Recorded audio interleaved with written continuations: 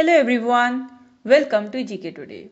All the videos of GK Today are absolutely free and available on GK Today's YouTube channel. And if you are looking for interactive quizzes in text and also their solutions, please download GK Today's Academy Android app. We have several free and paid courses in that app. Now this particular series is of 60 videos and in each video we are going to discuss select 15 questions and we shall also do 500 test questions after end of this series. Now let's start with the questions on Indian polity. So the first question is which part of the Indian constitution deals with amendment? You have the following options and the correct answer is option A that is part 20th.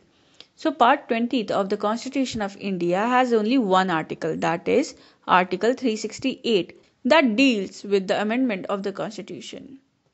The next question is the amendment of the Constitution can be initiated in which of the following? Lok Sabha, Rajya Sabha, State Assemblies. You have to select the correct options from the quotes given below. The correct answer is option B. See a constitution amendment bill can be introduced in any house of the parliament. So a bill for the purpose of amendment of constitution cannot be introduced in any state legislature in any state legislature but it can be introduced in any of the house of the parliament either in the Lok Sabha or in the Rajya Sabha. The next question is which among the following is true regarding the amendments of the constitution with provisions which affect the federal character of the constitution. So you have the following options and the correct answer is option C that is they can be amended by not only two-third majority of the parliament but also ratification by at least half of the states. See the amendments which affect the federal character of the constitution need to be passed by special majority of the parliament and also need ratification by half of the state legislatures. The next question is from which constitution India has borrowed the provisions related to amendment constitution. Now you have the following options and the correct answer is option B that is South Africa. So Indian constitution has borrowed two features procedure for amendment of the constitution and election of members of Rajya Sabha from South African constitution. So the next question is a constitutional amendment bill has also provisions pertaining to imposition, abolition, remission, alteration or regulation of a tax. Now which of the following statements would hold correct for such a bill?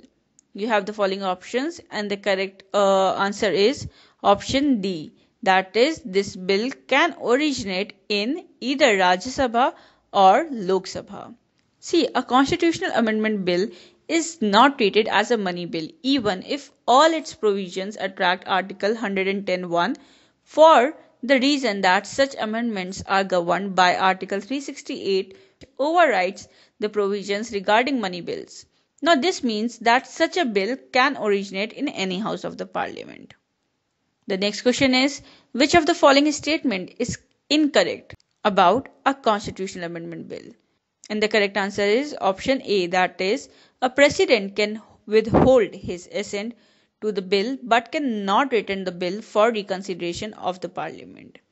See the first statement is incorrect because president can neither withhold his assent to the bill nor return the bill for reconsideration of the parliament.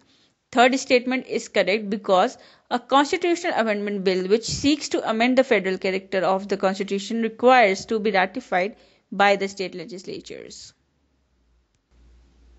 The next question is In which house the amendments to the Constitution of India can be initiated? You have the following options, and the correct answer is option D that is, either house of a parliament. See, the amendment to the Constitution of India can be initiated in either house of parliament in India.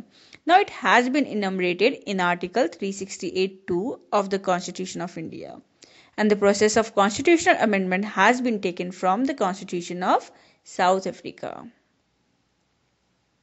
Now the next question is which part and article deals with amendment to the Constitution? Now you have the following options and the correct answer is option A that is part 20th article 368. So the powers of parliament to amend the constitution and its procedure is enumerated in article 368 in part 20th of the constitution. Further, it states that a parliament may amend by way of addition, variation, or repeal any provisions of the constitution in accordance with the procedure that are laid down for the purpose. Now, the next question is how much majority is required to amend federal provisions in the Constitution of India? You have the following options, and the correct answer is option D that is, special majority of each House of Parliament plus ratification by half of the states with simple majority. See, if a bill seeks to amend the federal provisions of the Constitution of India, it must be passed by both the Houses of Parliament with a special majority and must also be ratified by legislatures of half of the states with simple majority. Now, the next question is in which case the Supreme Court ruled that the Parliament cannot amend the basic features of the Constitution of India. Now you have the following options and the correct answer is option C that is Kesavananda Bharati case. Now Article 368 deals with the powers of Parliament to amend the Constitution and its procedure. And in the case of Nanda Bharati case of 1973, the Supreme Court ruled that the Parliament cannot amend those provisions which form the basic structure of the Constitution. Moving ahead with the next question. So the question is which of the following statements are correct regarding constitutional amendment bill?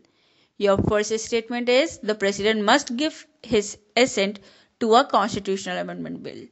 And the second statement is in case of disagreement between the two houses of parliament, there is a provision for joint sitting.